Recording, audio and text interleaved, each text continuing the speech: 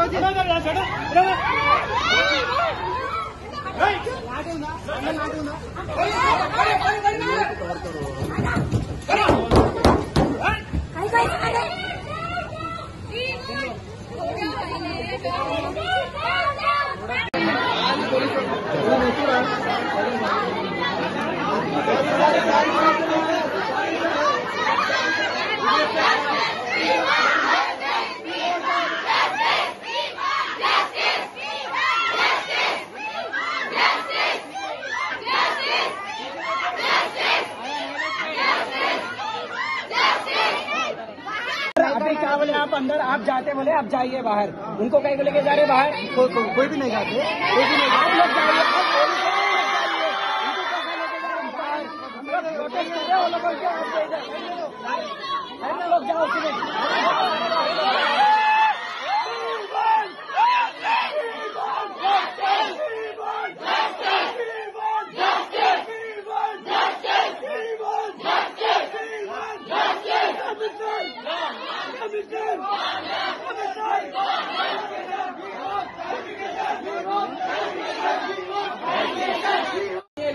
Police को उनके duty से नहीं रोक सकते।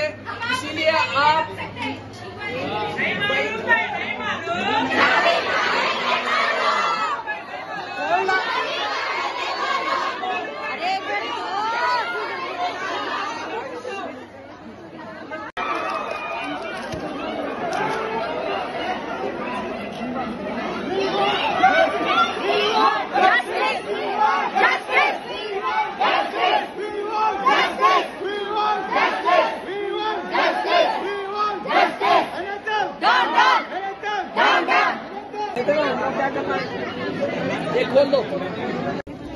हमारे प्रोटेस्ट करने की पहली वजह यह है कि यूनानी को हर जगह डिस्क्रिमिनेट किया जा रहा। पहले तो अभी रिसेंटली हम आपको एरिया हॉस्पिटल्स जो रहते हैं, उसमें वहाँ के, वहाँ पर मौजूद यूनानी डॉक्टर्स को टर्मिनेट किया गया और जो न्यू अपॉइंटमेंट्स हुए, वो सिर्फ़ आयुर्वेदा और एमबीबीएस के लिए हुए। ये पहला डिस्क्रिमिनेशन दूसरा डिस्क्रिमिनेशन ये था कि एम्स के कॉलेजेस जो है पूरे इंडिया में आयुर्वेदा और होम्योपैथी के स्टैब्लिश हुए। एक भी यूनानी का स्टैब्लिश नहीं हुआ। तीसरी बात गवर्निंग और मैनेजिंग बोर्ड होम्योपैथी का आयुर्वेदा का अलग से है, लेकिन यूनानी का कोई अलग से बोर्ड नहीं है। ठीक है, इतने सारे डिस्क्रिमिनेशन हम देखते जा रहे, देखते जा रहे, कोई आवाज़ नहीं उठा रहा। बोल रहे, सही तरीका अपनाओ, सही तरीका अपनाओ, इतने साल सही तरीका ही तो अपना रहे, क्या हुआ?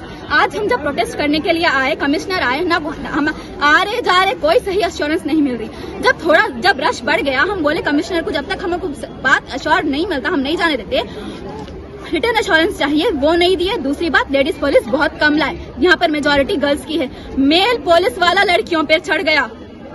मेल पुलिस लड़कियों पे चढ़ गया। लेडीज़ पुलिस कम थे, उनकी गलती थी, हमारी नहीं। दूसरा, एक फीमेल डॉक्टर को मेल पुलिस लाठी चार्ज की धमकी देता।